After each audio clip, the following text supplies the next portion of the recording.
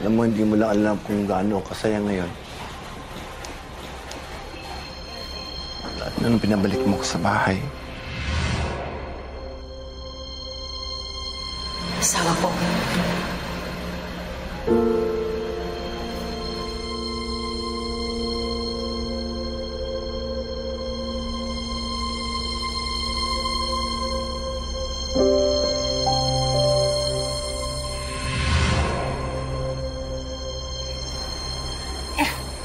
Eh, siyempre mahal kita eh. Wala yun. Normal yun, okay yun. alam mo,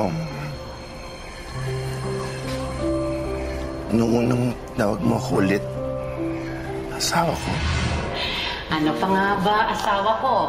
ang sarap talaga sa pandinig yung kalitang asawa ko, no? Miss na miss na rin kita tawag yung asawa ko, eh. Hanggang sa... Hanggang sa pinatulog mo ako ulit sa tabi mo. Huwag ka na diyang matulog, mas lalo sasakit yung likod mo.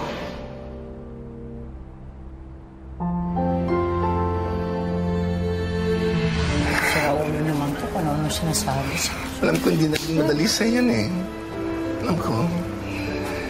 Pero ginawa mo pa rin kasi... Kasi nga, Mahal nga kita. Binuksan mo pa yung puso mo para Kasi nga mahal kita. Ano pa? Huwag tama na yan. Drama-drama mo eh.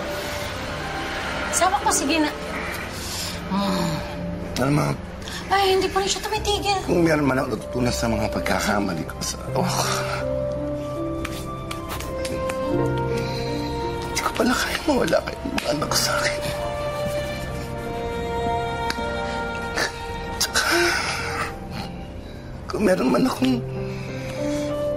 natutunan na eh, may higit pala sa pagmamahal kayo yun. Hindi. Hindi ako magsasawa sa inyo pagsilbihan kayo at bumawi sa inyo. Oh my God! Dalawa na lang ako! Okay. Wait lang natin. Wait lang, wait lang, wait lang. Tumigil ka. Guys, narinig niyo ba yun? Parang si nanay at tatay yun. Bakit? Umiiyak si nanay. Ha? Tingnan natin.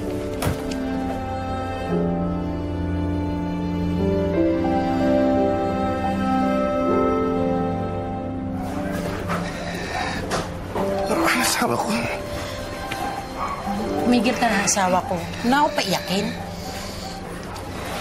Ikaw lang ang babaeng paulit-ulit kong iharap sa altar.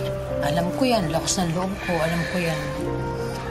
Tsaka, tutuparin ko na yung mga pangako ko sa'yo na mamahalin kita ng tapat.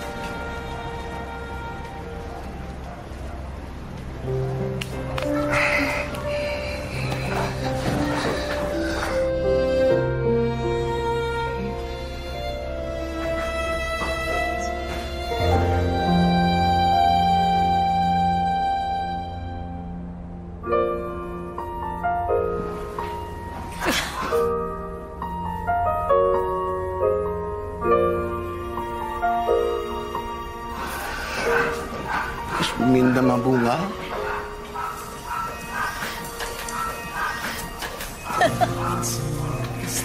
Pwede mo ba ako pakasalan ulit? Liwanag ng buwan sa gabi Di ko na nasisita Isa lang ang naghaharing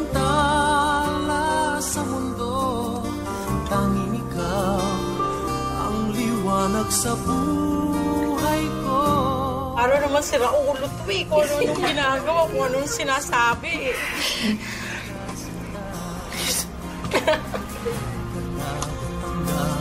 Rosas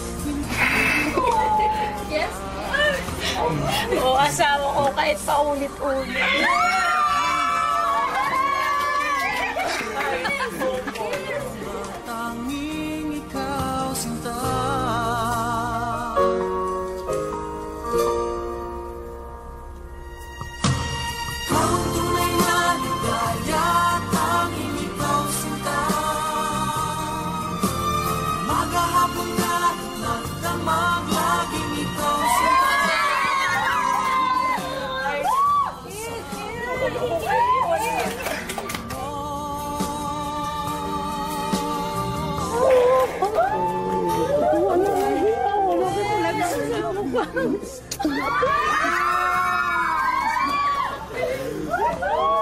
Mayanap naman asawa ko, kakasal kami lahat.